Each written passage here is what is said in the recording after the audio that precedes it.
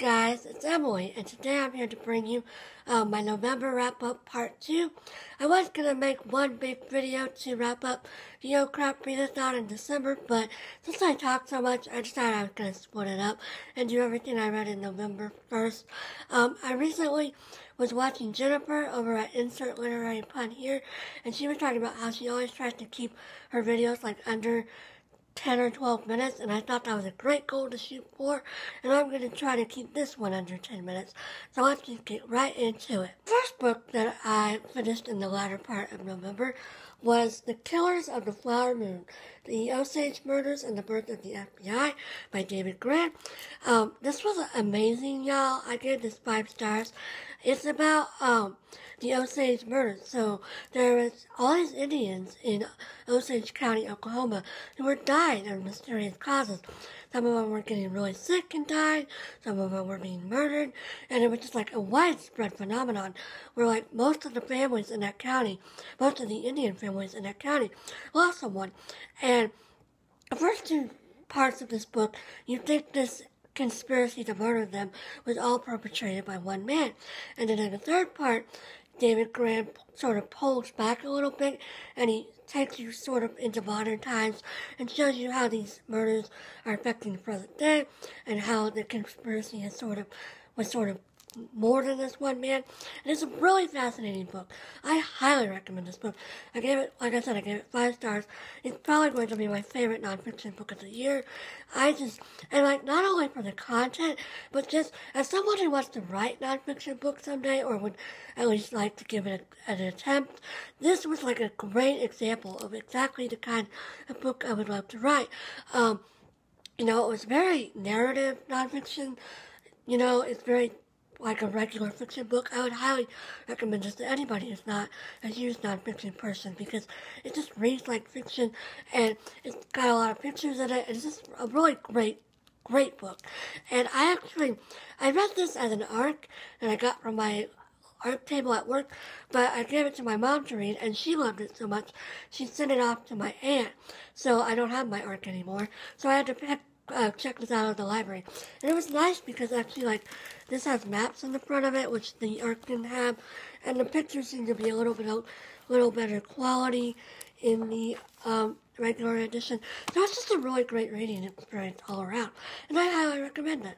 I then finished the Glass Universe, How the Ladies of the Harvard Observatory Took the Measure of the Stars by Dava Sobel.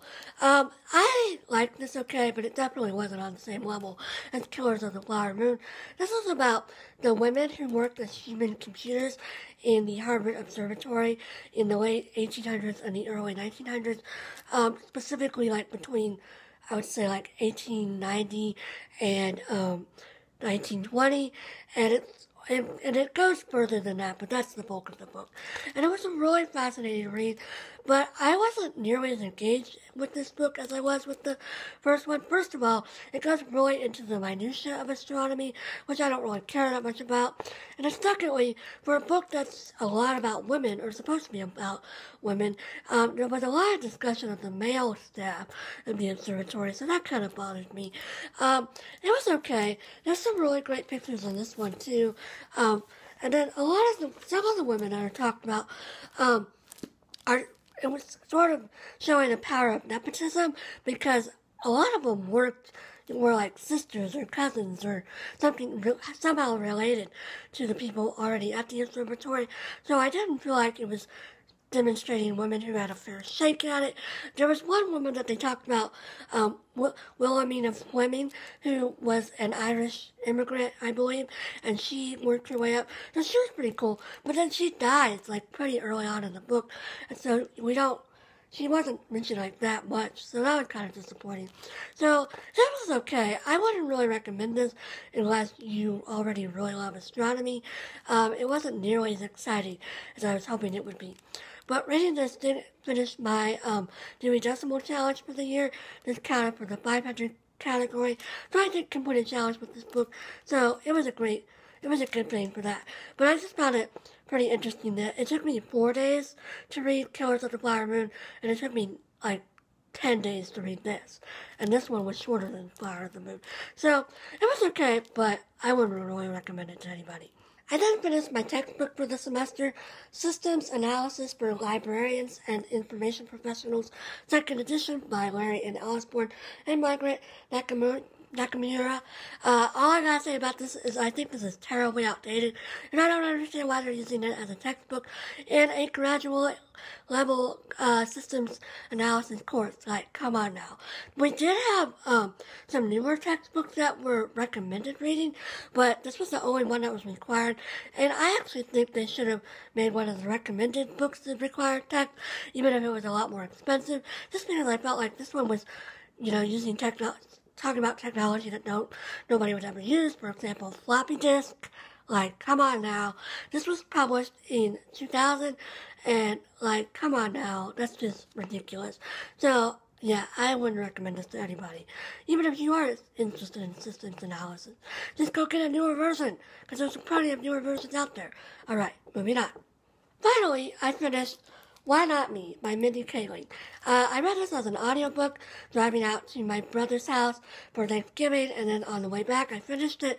Um, this is a pretty standard celebrity memoir. Um, Mindy Kaling's talking about um, a little bit about The Office, but this is mostly about her um, time on the Mindy Project and like the process she went through to pitch it and to get funding for it. And um, she also talks about a little bit of her college life, and she also has this pretty standard celebrity like beauty secrets chapter, and then there's also a chapter about the day in her life, which was pretty fascinating. She works like 15 hours a day when her show is in production, which is crazy, sometimes more than 15 hours a day.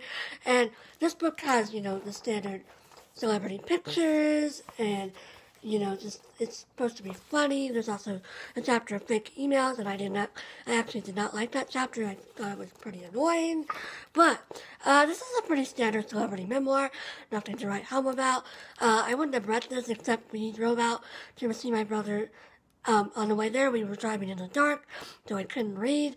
So this was a pretty good audiobook to listen to. Mindy Kaling narrates it, and it's funny, but there's also some times where I was rolling my eyes, and like I said, the chapter with the fake emails, I just found super annoying. Um, I would only recommend this if you're like a super Mindy Kaling fan or if you're like me and you're going on a road trip and you need something fun and light to listen to on the way out there. There was also some changes between the audiobook and the book, including the chapter about a day in her life was not even in the audiobook. And then also, she has a chapter about mentoring, and she has her um, her personal mentor, Greg Daniels, the office showrunner, um, come on and he talks, he reads his portion, and he even mentions how in the book he made some like really funny joke and sort of laughed off the question, and he said, and quote, he said, I felt bad for doing that, so here I'm going to write something better for the audiobook.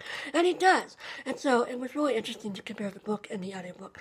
So anywho, again, don't necessarily recommend this, but it was a fun listening experience. Alright, so that's everything I read in the last part of the of November.